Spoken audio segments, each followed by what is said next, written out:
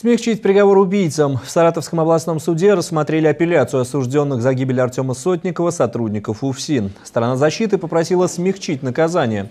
Напомним, следствием было установлено, что в апреле 2012 года сотрудники УФСИН применили силу к заключенному колонии номер 13 Артему Сотникову, в результате чего последний получил травмы, несовместимые с жизнью, и скончался в стенах режимного объекта. Судебное разбирательство по этому громкому делу длилось два года. Все его фигуранты, пятеро сотрудников, получили от 9 до 12 с половиной лет лишения свободы. Сторона защиты сочла этот приговор жестким и подала апелляцию. Такое наказание не устроило и потерпевшую сторону – мать Артема Сотникова. Коллегия областного суда, изучив все доводы сторон, оставила прежний приговор без изменений.